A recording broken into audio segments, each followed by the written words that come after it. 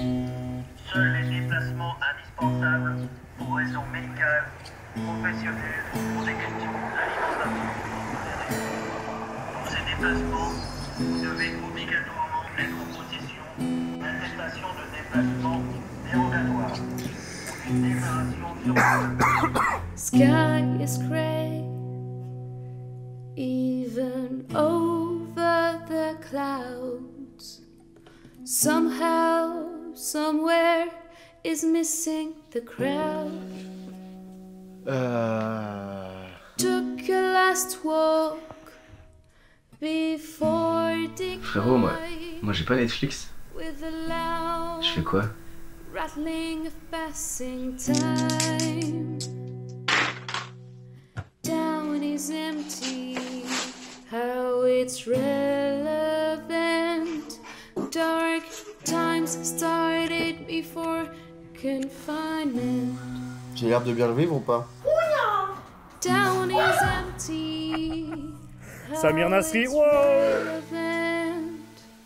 Dark times started before confinement. On n'a pas vraiment tous le même confinement. Cheer up, human. Hold your tears. Together our own beer. Ce qui devait se passer à la base, c'est que j'ai deux voisins en dessous et euh, j'ai ma coloc, euh, Mathilde. Moi, je pensais qu'ils allaient tous rester ici, mais en fait, euh, Sophie a eu raison de partir. Donc, les deux, le couple en bas, ils sont partis. Et ensuite, Mathilde, elle a préféré rentrer chez ses parents, ce qui est normal aussi. Bah, Il y a plus de place, moins de devenir taré, quoi, enfermé ici. Avec un ami, je voulais, euh, on voulait lancer un, podcast audio où on se posait autour d'une table, à manger des chips, à boire des bières et, à parler de plein de trucs pendant euh, quelques temps. Et puis au final, on est tous confinés ici. Enfin, ici. Moi, je suis chez moi et lui, il est chez lui. Je sais pas si tu as eu euh, Michel qui t'a dit que lui, par contre, il était bloqué en Espagne, donc euh, je ne sais pas s'il pourra rentrer. Et moi, je suis avec les enfants sur Andernos. Je suis en Italie depuis trois mois et la situation a commencé à vraiment changer il y a, il y a trois semaines, quand euh, les écoles ont commencé à fermer et, et tous les événements ont commencé à être annulés. J'ai eu l'occasion d'observer les choses les plus bizarres de cette maison. Évidemment, nous, on pensait tous que c'était futile, que c'était une grosse grippe et que ça allait passer vite et que, que tout le monde euh, surréagissait à ce coronavirus. Euh, moi, je suis arrivé à La Réunion il y a une semaine. Pas du tout en plein confinement. On n'en parlait même pas. Et, euh, du coup, depuis lundi, comme euh, partout en France, puisque La Réunion fait partie de la France, euh, me voilà confiné. Alors au début, c'était le paradis. On m'a filé un scooter, on m'a filé un appart, vue sur la mer, dans les hauts. C'est un peu dans les montagnes. c'est magnifique. Puis tous les jours, je rejoignais les autres, toute la bande, tout ça, tout ça. Sauf que maintenant, on n'a plus le droit de sortir. Donc euh, j'ai toujours mon scooter et j'ai toujours euh, cet appart de ouf. Et cette vue de Tantale, De mon point de vue, ce qui a été aussi très très étrange, c'était de continuer à suivre sur les réseaux sociaux tous mes amis en France. Et quand nous, on a pris conscience de la gravité de la situation et que et qu'on s'est retrouvés en quarantaine et que on a pris conscience de à quel point sortir et avoir le moindre contact avec quelqu'un pouvait être dangereux, qui se retrouvent tous dans les parcs, qui continuent à, à banaliser la situation et, qui même revendiquent le droit et la liberté de continuer à se voir et de continuer à, profiter du beau temps et à sortir dans la rue. Waouh! pas le droit de bouger. Alors euh, on franchit des interdits avec mon pote. euh, je vais le retrouver en début d'après-midi. Et puis on est allé se baigner hier. Euh, là aujourd'hui, moi je voulais sortir un peu. Il m'a dit qu'il préférait rester confiné. Ça commençait à faire flipper. Son mec est gendarme et euh, ils ont reçu des instructions comme quoi à partir de ce week-end, euh, il fallait qu'il n'y ait plus personne dehors. Quoi. Je pense qu'on essaye de se donner de l'amour à distance un peu comme on peut. Euh, c'est le quotidien qui nous attend pendant les prochains euh, 40 jours. Il y a tout le monde qui sort son chien. Et euh, je vais attendre un peu du coup parce que ben, moi aussi je vais pouvoir en fait sortir mon chien. En fait, elle va chercher le courrier 7 fois ou 10 fois par jour. Appliquez systématiquement les gestes barrières. Lavez-vous très régulièrement les mains avec du savon. Utilisez une solution hydroalcoolique.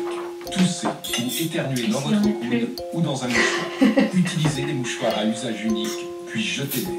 Saluez sans serrer la main et arrêtez les embrassades. Ceci est un message du ministère chargé de la Santé et de Santé publique France. Là, on va chercher à manger. Il y a deux possibilités. Soit il y a une queue de malade, sachant qu'ils ont fermé l'entrée principale, donc il faut passer par derrière. Euh, soit, soit il n'y a pas de queue de malade, dans ce cas-là, on rentre. Tout le monde porte un masque ou un foulard pour se protéger le visage et on voit qu'ils tiennent leur caddie avec des mains gantées. Là, je suis en train de regarder une vidéo du Carrefour qui est en bas de chez moi, le lendemain de l'annonce du président. Il y a beaucoup trop de monde. C'est impraticable. Ah, Il y a encore des voitures, hein. bah, il y a encore des gens qui travaillent. hein. Des gens qui font, des, qui, qui font euh, leur petit jogging. euh, Il y a des voitures qui, qui roulent. Il y a beaucoup moins de gens que d'habitude, mais globalement, euh, bon, j'ai pas forcément l'impression qu'on vit dans une période de pandémie, quoi. Il y a un vigile qui tient la porte pour essayer de, de faire rentrer les gens de manière plus ordonnée. Mais les gens se gueulent dessus. Donc ça, c'est une des entrées principales du gros euh, centre commercial Italie 2, qui est fermé. Et du coup, bah là, euh, il faut qu'on trouve l'autre euh, l'autre entrée. Parce qu'il y a un truc que j'ai pas suivi là, du coup? C'est chier. Donc ça, c'est la queue avant même de rentrer dans le supermarché. Euh, a priori, euh, il faut rentrer les gens en compte-gouttes. Faut pas qu'il y ait trop de gens euh, dans le supermarché en lui-même. Que les rayons sont vides. Il y a un petit message qui a été, qui a été posé.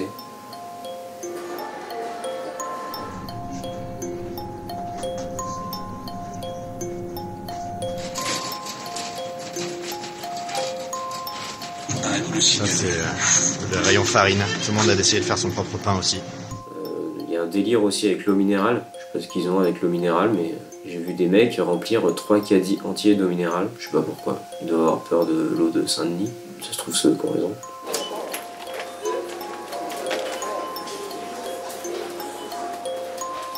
Bon, finalement, force de persuasion, j'ai réussi à capter quelqu'un qui était derrière la grille, qui m'a pas ouvert, mais j'ai pu acheter quand même 6 citrons pour la maudite somme de 2 euros. Je sais pas quel est le cours du citron en ce moment, mais euh, Ma mère, quant à elle, elle travaille dans l'alimentaire. Elle travaille dans un centre commercial. Elle est vraiment sur le, terrain, quoi. Elle est au front. Euh, c'est euh, c'est compliqué, c'est très compliqué, c'est très dur. Au niveau des conditions de travail, elles sont vraiment pas, vraiment pas optimales. On leur a dit qu'ils allaient recevoir des masques. Donc ça veut dire que ça fait euh, depuis le 13 mars en fait qu'ils ont aucune protection. Ils ont essayé de s'en fabriquer eux-mêmes euh, avec des, filtres à café, euh, des, soutiens-gorge, euh, travailler avec l'écharpe autour de la tête. euh. ils savent que ça marche pas, mais c'est pour le. Enfin, je pense que c'est pour le psychologique quoi. Maintenant, ils recrutent, mais au début, ils recrutaient pas, c'est-à-dire qu'ils comptaient vraiment que sur leurs employés, sauf euh, ils les ont épuisés. Ils les ont vraiment épuisés, donc maintenant ils se mettent à recruter parce que bah, y en a qui, qui exercent leur, droit- de retrait ou qui sont en congé, euh, en congé maladie parce que cet épuisement les a rendus malades. Moi, ma mère, euh, elle rentre euh, du coup tous les soirs à la maison alors qu'elle est en contact toute la journée avec des gens. Donc on prend, on prend les mesures nécessaires de notre côté, c'est-à-dire que quand elle rentre, déjà bon, elle se lave les mains, et puis là elle se déshabille, elle met ses habits à laver, elle va à la douche. Euh, on est, sur un moment de, désinfection euh, complet. L'État a promis une prime, mais euh, sous réserve en fait que les entreprises acceptent de, de la donner aux employés. Et euh, le, le supermarché de mère, euh, ils leur ont dit direct que genre bah non, la prime, euh, la prime ils l'auront pas. Donc c'est à dire qu'ils mettent leur vie en danger euh, en ce moment tous les jours.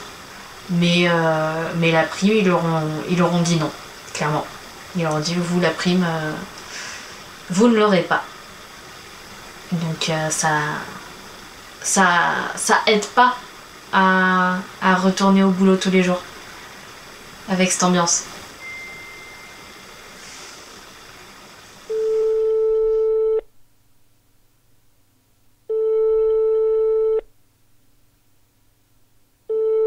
Ça va Antoine Ça va, ça va. Et toi, ça va? C'est mon jour de repos aujourd'hui. Mais, mais sinon, il me reste une semaine encore chez Auchan. euh, Je finis mon, mon contrat euh, la semaine prochaine. Je vais devoir euh, vivre chez un pote. Parce que, euh, vu le, les circonstances, je peux plus vivre dans mon bâtiment là. Mais tu me racontes, euh, tu peux me raconter un peu ce qui s'est passé? Ouais, le, le cambriolage. Hmm. Bah, hum, samedi, du coup, je suis rentré de, de Auchan en vélo, tu sais, je pose mon vélo dans la cour. Coup, je vais pour ouvrir, il y a trois verrous sur ma porte, donc quand même, faut le faire. J'ouvre un verrou, je vais pour ouvrir le, deuxième verrou.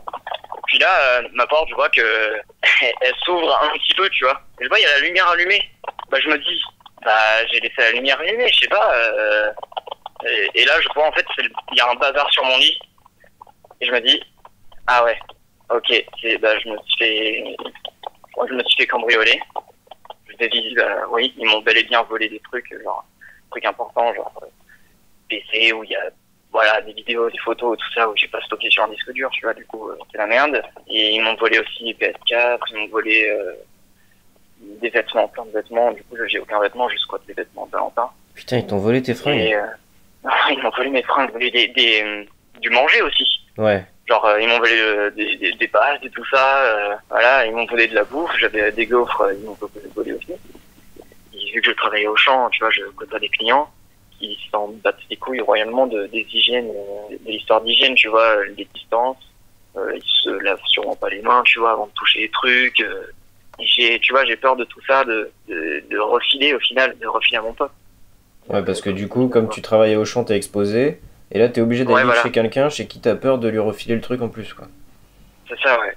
Je travaille pour euh, que les gens vivent, tu vois, au final. Je les ravitaille et au final, c'est comme ça que qu'on me répond. Euh... J'ai trop le fun, quoi. Bon, en tout cas, je te souhaite euh, bien du courage, hein. Bah, merci, et puis euh, toi aussi, bon courage. euh.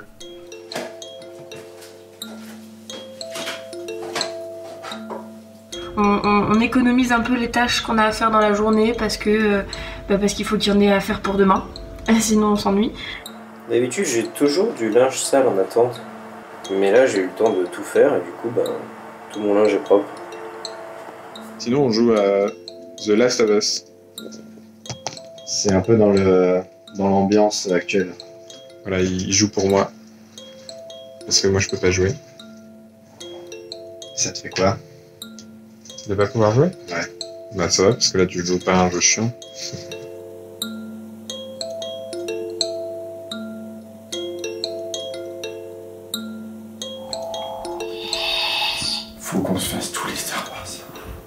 Euh, J'ai discuté avec une de mes voisines quand elle était sur son balcon et moi sur ma terrasse en bas. Et, euh, et elle- je lui demandais très sincèrement si elle allait bien. Notre échange était très bref, mais il était très sincère et ça faisait beaucoup de bien. Euh, et elle m'a dit que si je manquais de quoi que ce soit, euh, de, de bouffe ou de n'importe quoi, que j'hésitais pas et ça m'a ça m'a vraiment touchée. Ça, c'est vous? Oui. Non, c'est pas moi. Non? Moi, je suis là, Ah, d'accord. avec mon fils. Ah, vous jouiez au foot aussi Oui. Ah oui, j'aimais bien jouer au foot. Et lui aussi. Un petit Ça, c'est votre fils. Oui. On lui sous les tranquille. Bon après-midi. Bon, bah, le confinement continue. euh, on sait pas jusqu'à quand. Tout le monde pensait que le président devait parler hier. Alors en fait, il a jamais dit qu'il allait parler. Bon, il paraît que le Premier ministre a parlé, mais moi je dormais déjà. Les trois heures de décalage. Et, euh, et je pensais en fait ce soir qu'il y avait à la voix, qu'il allait, y avoir un discours de, de, de Macron. Euh, j'avais, j'avais, j'avais lu ça quelque part, mais j'avais vu juste une personne en parler, donc voilà. Et euh, en fait, je crois pas. durer encore quelques semaines. D'abord, nous avons décidé de durcir les sanctions contre ceux qui ne respectaient pas les règles. Premier jour, c'était une amende de 38 euros. Aujourd'hui, c'est une amende de 135 euros. Elle peut être majorée à 375 euros. Et en cas de récidive, elle peut être portée jusqu'à 1500 euros. Nous avons pris la décision de fermer les marchés ouverts. Mais il sera permis au préfet, sur avis des maires, de déroger à cette interdiction. Et puis, il faut aussi sortir pour euh, promener ses enfants euh, ou euh, pour faire du sport. Ça doit être dans un rayon de 1 km de chez soi, au maximum pour une heure, et évidemment tout seul et une fois par jour. Et j'insiste sur ces règles. Elles voudront dire qu'il faudra dater et, donner l'horaire du papier qu'on doit oh non, non. Oh, putain. On est le vendredi 27 mars, il est 15h48. Et les chiffres euh, qui sont sortis jusqu'à maintenant sont les suivants. On a 467 710 cas confirmés dans le monde. On en a 29 155 en France. Il y a 20 947 décès dans le monde, dont 1696 en France. Demain, dès l'aube, à l'heure où blanchit la campagne, je partirai. Vois-tu, je sais que tu m'attends. J'irai par la forêt, j'irai par la montagne. Je ne puis demeurer loin de toi plus longtemps. Je vais euh, faire la vitesse. On est tranquille, à part qu'on a une problématique assez sérieuse. C'est que nous avons des toilettes sèches à l'intérieur de la maison. On est censé se fournir en sûr à une scierie, la scierie des plats, là, pas loin de chez nous. Et en fait, depuis le confinement, eh ben, ils ont fermé leur porte au public. Il n'y a aucune scierie euh, qui donne de la sûre, même qui en vend dans le coin. Donc, euh, c'est problématique. Voilà. Pour remercier la mère de mon copain de son hospitalité depuis 15 jours, je lui ai offert un arbuste grimpant que je trouvais très mignon et aussi un arbre à myrtille. En les voyant, elle était super heureuse et sans réfléchir, en fait, elle s'est penchée pour m'embrasser. C'est très étrange parce que je n'ai pas réagi. Pourtant, depuis le début de l'épidémie, je cauchemarde souvent qu'on essaie de me faire la bise avec des enfants, des connaissances, des inconnus.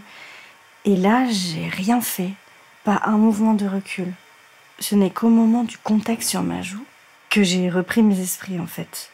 Tout d'un coup, mon cerveau s'est rendu compte que c'était une sensation que je n'avais pas vécue depuis longtemps et que oui, c'était un danger. Ensuite, je me suis aussi sentie bête de sentir tous ces sentiments anxiogènes pour une bise à la con, quoi. Ce geste presque naturel qu'on a acquis, qui participe à notre communauté, qui fédère, qui témoigne, qui nous humanise en quelque sorte, quoi. Fini pour un temps. Cette nuit, je pense que j'ai passé la, la deuxième pire nuit de ma vie. Je me suis fait manger par des espèces de bêtes. On dirait que c'est comme si j'avais dormi dans un, nid de fourmis rouges. J'en ai partout. La Syrie a exceptionnellement ouvert ses portes pour nous entre midi et deux, nous a autorisé à venir pour chercher de la sûre. Ouais, voilà. Donc euh, ça nous sauve vraiment la mise pour les toilettes sèches. Voilà. En plus on rencontre personne puisque euh, les ouvriers euh, sont en pause déjeuner, donc c'est parfait.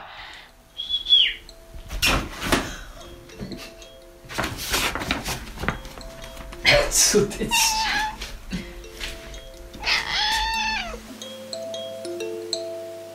D'abord je me lave les mains parce qu'un bon cuisinier, je lave toujours les mains. C'est important. Voilà, hein. Lave les mains coronavirus dans l'évier. Hop là Oh Mais c'est une raclinette qui est en préparation.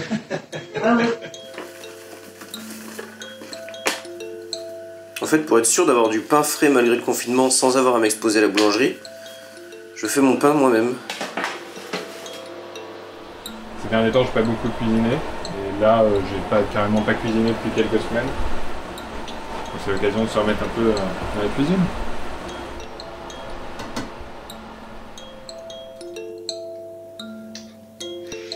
C'est les croissants du confinement. on va se mettre bien demain matin. Regarde ce que c'est, un petit chausson.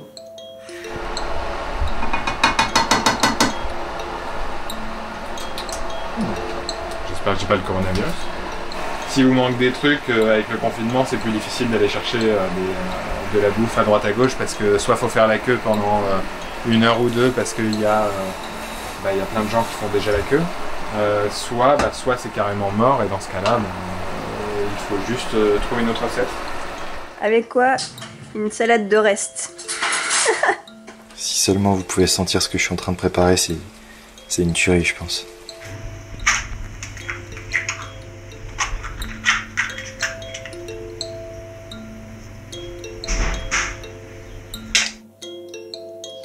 Bon appétit Le brunch du dimanche. Ça a l'air pas mal. Ça a l'air pas mal du tout. Bonjour, alors du coup ce matin, bah là il est 6h à peu près. Et là je prends un petit déjeuner pour me préparer pour aller au Resto du Cœur. Avec ma dérogation, j'ai mon attestation. Comme ça voilà, je risque pas de payer une amende parce que je me balade sans autorisation. Et je vais monter sur mon vélo et là j'ai 7 km et demi. Donc euh, normalement en règle générale j'ai un peu la flemme de les faire. Mais là depuis le confinement je suis trop contente d'avoir euh, beaucoup de vélo à faire. Euh, en fait, normalement, on sert un brunch, un petit déj avec des viennoiseries, des trucs à manger et tout. Euh, dans l'équipe, en général, on est entre 10 et 12. Et là, en fait, en période de crise, on n'ouvre pas du tout. En fait, on prépare des paniers repas, on ouvre la porte d'entrée, on leur donne et ils doivent vite partir euh, de façon à ce qu'il n'y ait pas de rassemblement euh, devant, devant la structure. Sachant qu'il n'y a plus personne dans les rues, bah, ils peuvent pas faire la manche, donc ils récupèrent pas du tout d'argent. Il y en a qui se demandent comment ils vont pouvoir nourrir leurs enfants. Euh, Il y en a qui se demandent comment ils vont pouvoir se nourrir eux-mêmes aussi. Euh, heureusement, euh, il n'y a pas que nous, il n'y a pas que les Restos du Cœur, il y a d'autres associations hein, qui, qui les aident. Et donc là, en période de crise sanitaire, en fait, on reçoit euh, des paniers repas à moitié prêts, donc avec euh, des trucs euh, qu'on n'est pas obligé de mettre au frais. Et nous, après, on rajoute euh, le fruit, le yaourt, le pain, en général le croissant. C'est un peu pénible pour eux parce que du coup, ils mangent la même chose euh, tous les jours, donc ça doit pas être très agréable. Mais, euh, mais bon, c'est toujours ça quoi. Et puis, plus de ça, nous, on peut pas, on peut pas se permettre euh, de donner autre chose. On peut pas donner du frais, on peut pas. Donc, euh, donc voilà. Et du coup, on a un compteur pour noter combien de paniers on donne. Donc là, par exemple, il y en a deux et ça fait qu'on est à 84 paniers distribués pour l'instant. Ok. Et 84, ça, c'est énorme. Et du coup, euh, du coup, ça nous fait un peu peur parce que si on n'a pas les stocks, on est, on est dans la mouise. Alors au début, euh, les premiers jours, comme ils pensaient que c'était fermé, on en distribuait euh, 50, 60, enfin c'était vraiment pas énorme. Après, avec le bouche à oreille, ils sont de plus en plus nombreux, donc tant mieux. Mais après, le souci, c'est que on a beaucoup de bénéficiaires qui n'ont pas leurs papiers en règle et du coup, ils peuvent pas trop se balader parce que comme euh, comme il y a la police un peu partout, ils ont peur de se faire attraper. Même si je pense que la police actuellement, ils sont pas trop, euh, enfin ils font pas trop attention à ça. Ils ont quand même hyper peur et donc du coup ils veulent pas venir. Donc par mesure d'hygiène, on n'a pas le droit de laisser des cartons dans la réserve, donc il faut qu'on évite tout. Les gestes barrières vus par Coluche. Toute la structure là, donc habituellement elle est ouverte et là comme on est en crise sanitaire, on a interdiction d'ouvrir. Donc ce qui est compliqué, c'est que du coup, bah, les bénéficiaires, ils ont pas accès aux douches, ils ont, on peut pas laver euh, leurs vêtements, ils ont pas accès aux toilettes, ils ont pas accès à la salle informatique. Donc euh, c'est un peu compliqué comme période pour eux parce que bah, ils ont accès à rien. On a interdiction de les faire rentrer, même 5 minutes pour aller aux toilettes. Là, on a toutes les règles qu'il faut respecter pour le Covid-19. Et puis, enfin, nous, bénévoles, il faut qu'on se protège parce que si on tombe malade, on ne pourra plus ouvrir. Donc, euh, et on pourra plus rien distribuer. Donc, c'est pas. Faut faire attention, quoi.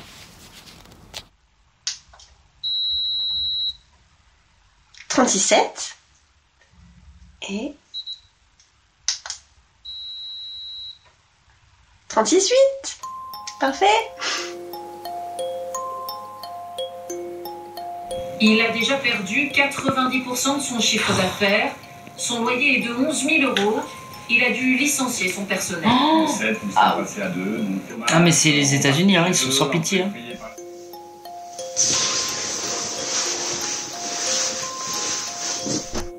Just before he sailed, he posted a letter to Admiral Yuri Padorin, in which he announced his intention to Faut que tu essaies de couper le plus droit possible.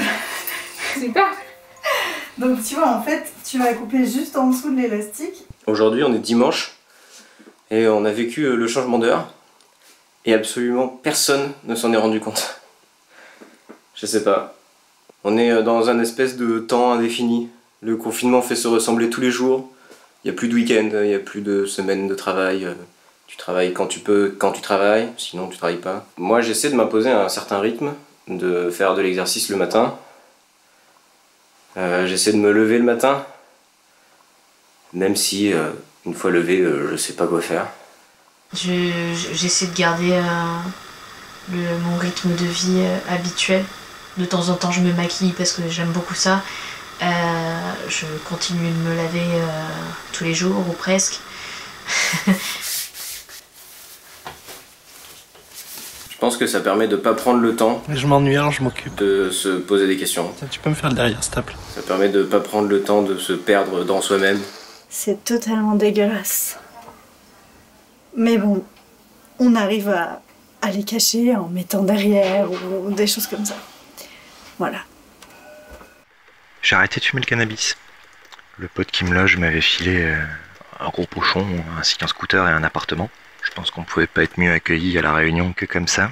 Quand je vais super bien, que tout va bien dans ma vie, le cannabis me fait marrer, me fait créer. Je fumais, puis arrêté, puis je refumais parce que ça me rendait parano de ouf. Ça me coupait euh, dans mes discussions, ça me rendait flegmatique. Bon, j'ai repris pour X ou Y raison. Et puis en fait, ça m'a fait du bien de ouf. Et là, depuis 2-3 jours, je me rends compte que pareil, ça me rend parano, ça me rend flegmatique. Puis je reste sur mon canapé, j'essaye d'aller marcher, tout ça. Et quand je fume pas de la journée, bah, je suis hyper motivé. Le soir, quand je tire sur le joint, c'est une mauvaise nouvelle dans le sens où ça veut dire que le climat dans lequel je vis à l'heure actuelle redevient un climat anxiogène qui n'est pas propre à un épanouissement. J'ai pas de moment où je dois me recentrer sur moi et me questionner sur qui je suis, qu'est-ce que je fais en ce bas monde et euh, retomber en dépression. Et en fait, en ce moment, euh, plus ça va, moins ça va. Ce virus, c'est quelque chose qui, qui m'angoisse beaucoup. Et, euh, et en fait, euh, enfin, je, je- clairement, je fais des crises d'angoisse.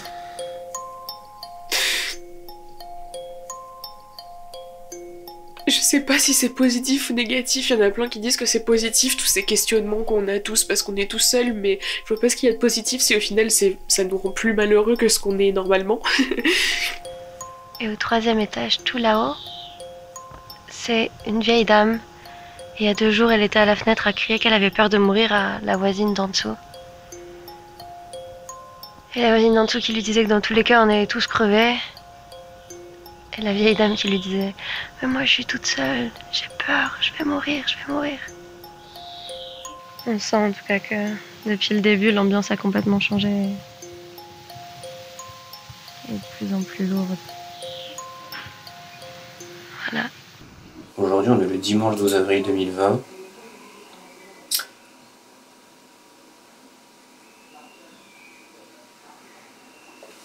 Alors, on compte 1 780 000 cas confirmés dans le monde, avec 109 000 décès. J'arrondis. Et en France, on est à 93 790 cas pour 13 832 décès. Là, j'arrondis pas. Putain. Les services hospitaliers sont saturés. C'est pour cela que le confinement le plus strict doit encore se poursuivre jusqu'au lundi 11 mai. Ça va, tu vis bien le confinement, toi? Oh bébou, c'est trop mignon. Oh. Oh. Ah, oh. nada.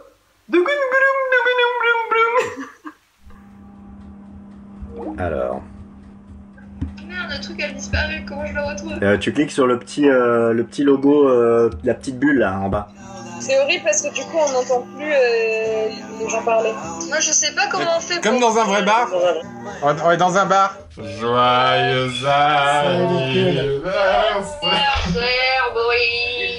Joyeux anniversaire.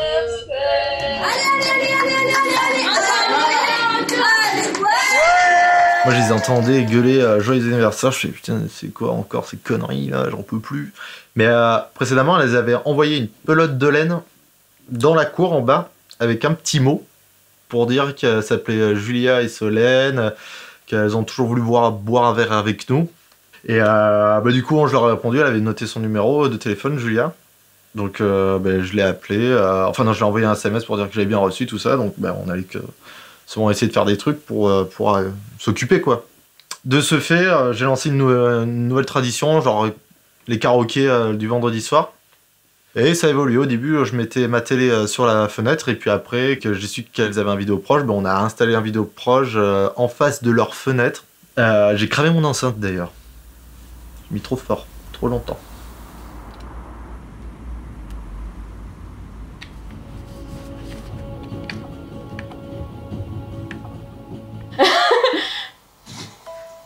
Ok, bah moi aussi, donc euh, on se casse. Je m'appelle Adrien Kolosewski et depuis 12 jours, je suis confiné. Je suis pas journaliste, détective ni même scientifique. Alors n'allez pas croire que ce que je raconte ici découle d'une recherche approfondie ou d'une investigation minutieuse. Je me suis dit, ah, il me faut un projet, il me faut un truc à faire. Voyez ce podcast uniquement comme un journal de bord dans lequel je relate des événements. Je voulais un truc qui réunisse aussi les gens. Parce que je me suis dit, bah, pff, quitte à être chacun chez soi à pas faire grand chose, autant qu'on fasse un truc ensemble. J'ai pris la décision de mettre en place une quarantaine sur tout le territoire. Le président a annoncé la mise en place d'une période Malgré les quarantaine. instructions de confinement, les victimes de la maladie sont Il sera de plus en plus nombreuses. quiconque de sortir de chez soi. Euh, je me suis dit, euh, vas-y, je crée un podcast audio. euh, euh, le but, c'est de sortir un truc assez régulièrement, donc euh, tous les deux, trois jours. Et c'est là où je fais intervenir les autres personnes qui sont confinées en leur proposant de faire des voix.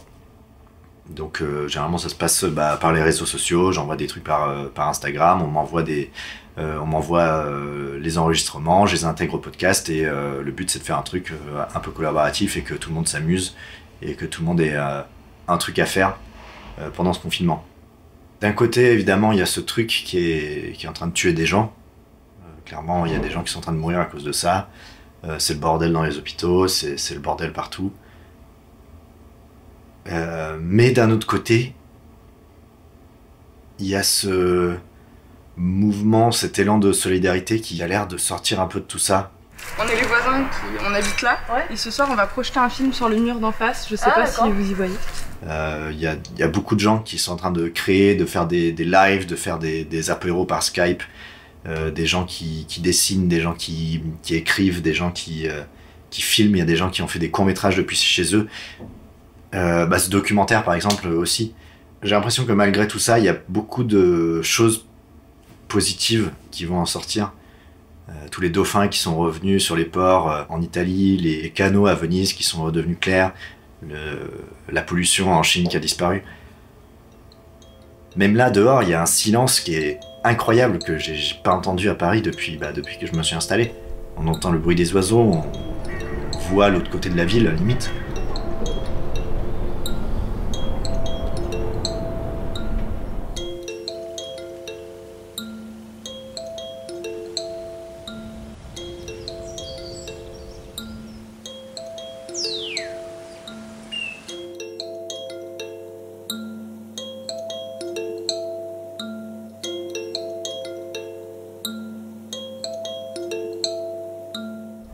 Ça inspire, euh, ça inspire beaucoup. Ça permet d'avoir plein de sources d'inspiration pour créer. Mais d'un autre côté, euh, il faut pas oublier que c'est quand même la réalité et que c'est pas une fiction, quoi.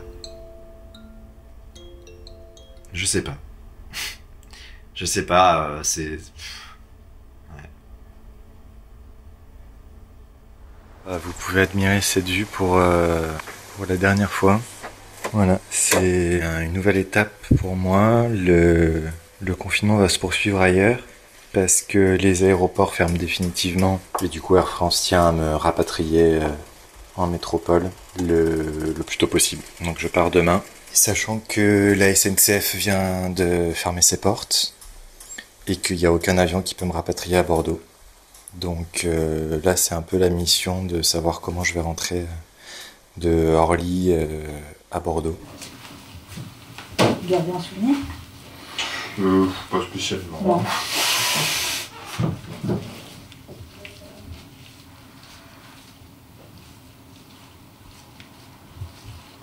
Faut faire tout drôle. Oui, je, je sais pas, ça fait plus drôle.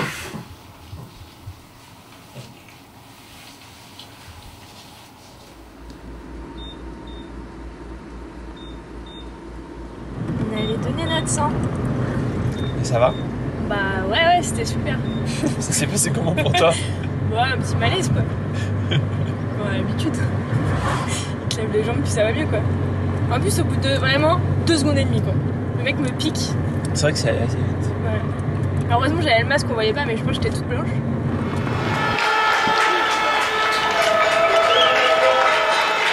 Tous les soirs à 20h, pour rendre hommage au travail des soignants,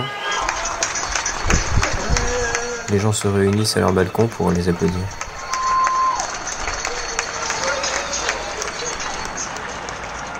Alors, pour moi, un truc euh, assez spécial qui s'est passé pendant le confinement, euh, c'est que j'ai eu euh, un enfant, mon, premier enfant avec ma compagne. Et en fait, notre fils est né le 17 mars, soit précisément le jour de l'annonce du confinement. Et du coup, ça a été un jour un peu particulier parce que bah, déjà, surtout, c'est la naissance de, notre fils, quoi. Ah, c'est un événement incroyable. Et, euh, et puis c'est l'annonce du confinement. Alors euh, moi je, descendais régulièrement à, la cafétéria pour aller me chercher un café ou, un sandwich ou, de quoi manger. Et puis d'un seul coup on passe d'un endroit euh, bondé de personnes qui viennent pour leur rendez-vous médicaux à plus rien, plus personne. Donc ma compagne a accouché le, mardi euh, 17.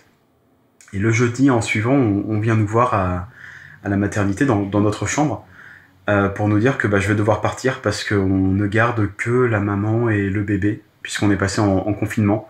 Donc je vais devoir rentrer. Et là, ça n'a pas été possible du tout de. Enfin, ça a été très compliqué. Je me suis mis à, à pleurer, ma, ma compagne a pleuré. Et étrangement, je sais pas si ça a joué ou pas, mais euh, j'avais pris mon repas pour, pour le jeudi soir, mon repas accompagnant et, et mon petit déjeuner le, vendredi matin. Et du coup, la cadre de santé qui a été un- une femme euh, de, compassion euh, incroyable m'a dit bah, puisque vous avez pris votre repas du soir et votre petit déjeuner du vendredi, vous pouvez rester du coup jusqu'au jusqu'au vendredi matin. Donc j'ai pu rester du coup jusqu'au au vendredi 15h. Mais j'ai pu comprendre aussi, en écoutant aussi ce que, ce que disaient les, les personnes dans le service et en discutant aussi avec des sages-femmes, avec euh, des, membres de la maternité, le, coup dur que ça a pu être pour certains papas, pour certains papas d'a- d'apprendre le jeudi qu'ils devaient partir euh, et laisser leur, femme et leur, enfant. Donc voilà, moi j'estime que j'ai eu euh, beaucoup de chance de pouvoir profiter de, ce petit temps bonus au vu des circonstances. Et, j'ai pu aller chercher du coup ma femme et mon fils le, samedi matin où bah, c'est une voie inexprimable d'aller pouvoir enfin récupérer sa, femme et son fils à la maternité, de, pouvoir récupérer euh, voilà, les personnes qui, comptent euh, bah, le plus à vos yeux euh, à, ce moment-là. Et euh, moi, ce que je retiens du coup de, ce confinement, c'est que on a envie de partager ça avec ses proches, on a envie de partager ça avec ses amis, on a envie de, montrer son, fils à, ses parents, à ses beaux-parents, à ses amis, euh, et ne serait-ce que, que par fierté et, par joie aussi, parce que bah, c'est quelque chose qui bouleverse notre quotidien, et on peut pas, on peut pas, on peut pas, on peut pas, euh, on peut pas dire à ses parents, bah tenez, euh, c'est votre petit-fils, prenez-le dans vos bras. On peut pas faire tout ça. On peut pas, euh, c'est assez terrible. C'est très bizarre comme situation. Mais Et heureusement, on a sa femme qui a, qui a un rock qui surmonte tout ça. Qui ces moments aussi un peu de, de craquage comme moi. Et, euh, et tous les deux, on arrive à surmonter tout ça, à faire en sorte que on puisse sortir notre fils et euh, on fera en sorte que tout aille bien pour lui. Et qu'il connaisse, j'espère, jamais une situation pareille. Et qu'il pourra profiter avec ses proches de, tous les moments qu'offre la vie.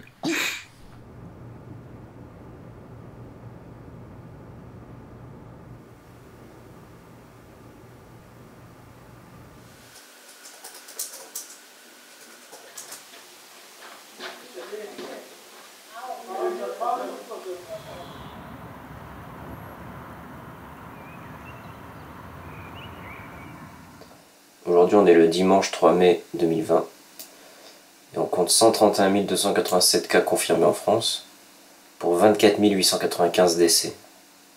Nous y sommes. Lundi prochain, un processus très progressif, au minimum sur plusieurs semaines, qui va permettre au pays de sortir doucement du confinement que nous connaissons en France, comme d'ailleurs dans une très grande partie des pays du monde, depuis le 17 mars. Il y a de 30 jours, 40 jours, 50 jours, un mois, je sais plus. euh, je envoyé une vidéo de moi sous la pluie, euh, sous une pluie tropicale euh, à La Réunion. Ça en est passé du temps, mais je suis toujours sous la flotte, ma gueule. Et toujours dans la rue. Euh, j'ai dû rentrer de La Réunion, j'ai été rapatrié, comme on dirait. Donc en gros, c'était soit tu restes et tu te démerdes, soit tu rentres right now. Donc j'ai fait mes valises en vitesse, euh, j'avais vraiment envie de rester et en même temps, j'avais pas grand chose à y faire vu que tout était bloqué là-bas aussi. Le problème, c'est que la France était dans l'incapacité de me ramener jusqu'à Bordeaux. Donc euh, au mieux, ce qu'ils pouvaient faire, c'était Paris. J'ai réussi à batailler, ils m'ont ramené jusqu'à Toulouse. Impossible de louer une voiture, euh, la SNCF en rade. Donc euh, voilà, mon père est venu me chercher à Toulouse. Interdiction de se toucher, tu montes à l'arrière de la voiture, euh, on ne se parle pas. Le truc, c'est que mon appartement, il était loué euh, tout le temps où je devais partir à La Réunion par, euh, par deux petites meufs euh, de 20 ans qui avaient absolument nulle part ailleurs où aller que, que chez moi en fait. Marion, ma meilleure pote, m'avait proposé de la rejoindre euh, dans sa coloc. C'était 6 je crois à ce moment-là. Et genre deux heures après, ouais en fait euh, on en a parlé avec tous les colocs et euh, en fait non ça va être chiant. en plus tu vas passer par les aéroports et tout ça, tout le monde est flippé puis on est déjà beaucoup. Ah ouais ok. Bon bah... Allô papa, allô maman. No way Hors de question de faire ça. Je pense qu'il serait mort en 24 heures.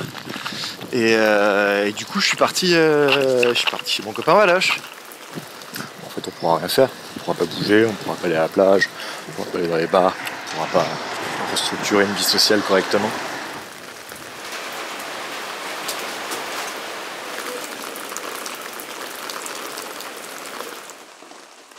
Nous, dans notre confinement, on sort très peu. Quand on sort, c'est pour faire les courses et pour vraiment les achats de première nécessité. Et ce jour-là, j'étais sorti pour euh, poser des chèques à la banque. Et je suis passé devant l'église qui est en face de chez moi, qui est une église très très moche, qui date des années 70. Et là, je sais pas pourquoi, je suis rentré dans ce lieu, qui était désert. Et il y avait cette LED qui grésillait et qui donnait une ombre incroyable à la, la statue de la Sainte Vierge et mes pas résonnaient comme ça dans le silence de ce lieu complètement vide, qui était aussi moche à l'intérieur qu'à l'extérieur. Il y a longtemps, c'était euh, l'église, c'était un, un vrai lieu de protection, de et que des gens pouvaient s'y cacher, pouvaient y trouver refuge, et que c'était un refuge, comme une espèce d'alcôve dans le monde. euh, où On pouvait se planquer. Je me suis dit peut-être que inconsciemment, je suis rentré là-dedans pour ça, pour me planquer. Ce qui est bizarre dans une église, c'est que même s'il y a personne, on chuchote. Et moi, je suis, je suis athée, euh, complètement athée, quoi. Et je me demande si euh, ce, cette épidémie euh, nous renvoie pas dans une espèce de truc un peu mystique, à une époque où on pouvait accueillir ces gens, euh, ces, ces, ces mendiants dans les églises, leur trouver de la place. Et là, de voir cette église vide, en fait, euh, je trouvais ça terrible. À l'heure où il y a une épidémie, que ces lieux-là euh, aient perdu leur, euh, leur, leur essence.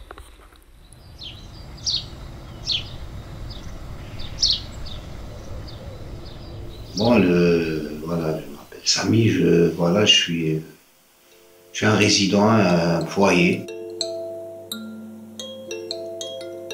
Je travaille dans un centre d'hébergement et de réinsertion sociale. En gros, c'est une structure qui propose à des personnes euh, en situation de précarité un hébergement, le temps de se reconstruire, de se reposer, de stabiliser, pour une période en moyenne de 6 mois à 2 ans. Actuellement, on est confiné, ça fait plus qu'un mois. Euh, les personnes qu'on accueille euh, peut être euh, des réfugiés par exemple, Euh, on peut avoir des sortants de prison ou alors des personnes qui ont un parcours de rue, voilà en fait ce qu'on appelle des SDF. Voilà, on essaye de travailler avec elles donc à travers un accompagnement assez global. La santé, le travail, le bien-être, l'estime de soi, les loisirs, le sport, l'administratif, Très souvent, elles font un peu le choix du, du moins pire quand elles entrent dans notre structure. Donc euh, la vie commune, c'est difficile dans les foyers déjà. Sans, euh, sans confinement déjà, par rapport à l'hygiène, on essaie toujours d'avoir le maximum, mais il y a toujours des, euh, un manque par rapport à ça. Et en plus, euh, voilà, c'est, on a vécu ça comme, euh, voilà, comme, comme tout le monde, on est confiné dans nos chambres. Après, on descend manger. C'est là où on peut croiser les, autres résidents et c'est plus stressant, plus, C'est le stress, c'est normal, c'est le stress d'être confiné plus qu'un mois, et d'être ensemble. Donc là, en fait, en période de confinement, ces personnes, eh euh, elles sont confinées ensemble 24 heures sur 24. Donc un mois et deux semaines dans 9 mètres carrés, ça peut très rapidement faire penser à la prison.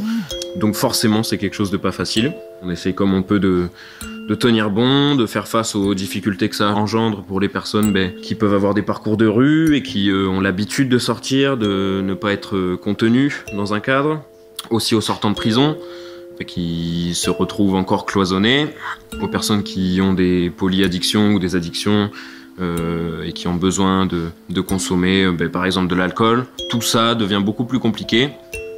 Moi, personnellement, j'essaie de, voilà, de garder la nourriture le maximum possible. En plus, euh, avec ce que j'ai, voilà, j'essaie de, donner aux autres résidents qui sortent, qui me ramènent les courses et j'évite le maximum de ne pas sortir. Moi, actuellement, ça fait un mois, je suis sorti une fois. Voilà.